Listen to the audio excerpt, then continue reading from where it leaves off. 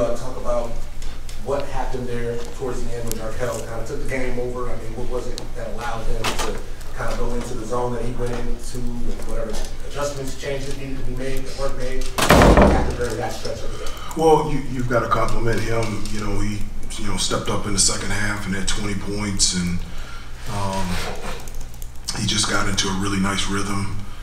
Uh, not just being able to um, attack the basket, I felt like he hit some really tough shots, contested twos, step back threes, and you know at the end of the day, your big time players have to step up. I think the shots that he took and the shots that he made in the second half, I feel like we had the same, if not better, shots, and ours didn't go in. And so, um, you know, in the second half, we had a, I think a six point lead, a little bit under 10 minutes to go. We had three straight possessions where we could have extended that lead. We missed a layup, had two turnovers that allowed them to catch up and tie the game or take a one point game. And, you know, we just didn't play well down the stretch.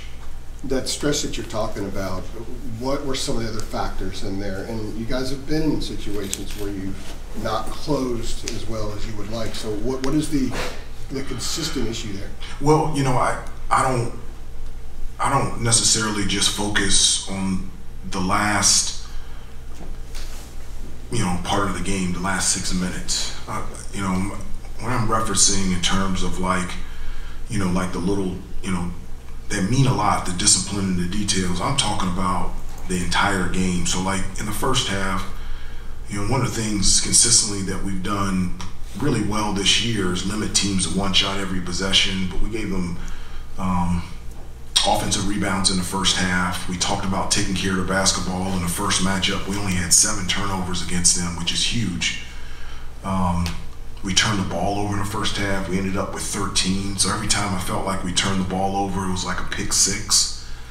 So anytime that we have a recipe of more turnovers than assists, that's just hasn't been good news for us. And so I don't, um, yeah, down the stretch, we didn't play well enough to win, but I, I felt like throughout the course of the game, we could have done the important little things that could have put us in a position to not just be down one at halftime and not just be up six with a little bit more than nine minutes to go in the game. You always said that you want your team to respond and get back up after being knocked down, but Yeah. how do you change the message when it's clearly not working at its maximum because the results aren't? Well, I disagree with you. I don't. I, I disagree with you from the standpoint that it's not working. I do. Um, sometimes it doesn't come when you want it, where you want it, how you want it, in the manner in which you want it, at the time that you want it. Um, that's life. And so, what the key is, is to understand and to continue to get back up and continue to fight. That's what Carolina's always been about. That's what this team has always been about. And, um, it's not even a choice. That's the only direction that you can go. And so just because you don't get what you want right when you want it and right when you think you should have it, that, that doesn't stop you from doing the good things to put yourself in a position to be successful. And so um, I disagree from the standpoint, I know where you're coming from, but I disagree that it's not working. We don't know if it's not working. You got to keep getting back up and keep trying. It's not working when you quit. Yeah, but for the most part, were you were you satisfied with the shot selections that you guys got? Like once it got tied at 60 in that kind of crucial stretch. I did. I need to look back at it. I, you know, I know that um, I know that we had some good looks from the guards um, from the outside. I know that we were attacking the basket and um, trying to score, trying to get contact, trying to get to the free throw line. I felt like you know, in terms of execution, we got the ball to the guys that we wanted to get the ball to. Um, but we just didn't make the shots. And um, when we missed, they came down and they got the shots that they wanted and they made them. Coach, I think you were talking earlier how you guys had 13 turnovers. You only forced one of your own. What are ways, or what can you do defensively to sort of open up those fast break buckets for you guys on the offensive end? Yeah, you know, we tried to, you know, um, dead ball situations, full court. You know, we picked up full court and, you know, got into our press and tried to create some steals and deflections and turnovers. You know, one of the things for NC State, they have multiple ball handlers. So if you take it away from one, there's, you know, two or three other guys that can handle the basketball and get their team into their offense. So, you know, we definitely tried, you know, to get some extra possessions. There's a number of ways to get extra shots. You know, you can get obviously get steals, um, offensive rebounds. So that's you know one of the things that we talked about. We got you know we got 18 offensive rebounds. Um, but we only scored 15 points off those offensive rebounds. So I mean, if you want to count getting steals and deflections, you can put it under getting second chance opportunities for an offensive rebound and also getting to the free throw line. And we did. You know, we just, you know, we missed six free throws, which is close to our average. But I felt like we got, we got opportunities, more opportunities on the offensive glass, but we just weren't able to generate anything in terms of steals and deflections in the full court. Take a couple more. Hubert, you, when you leave out of here, it's, it's four games left in the regular season now Yeah. for you guys. Is, is the feeling there that time's running out?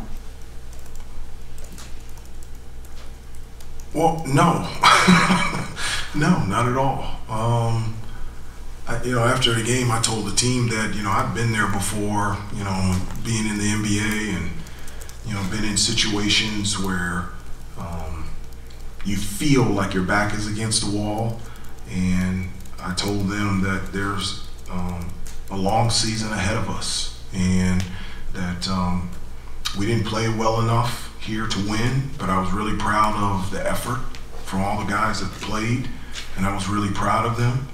In that uh, we have to continue to stay the course and continue to compete and continue to fight.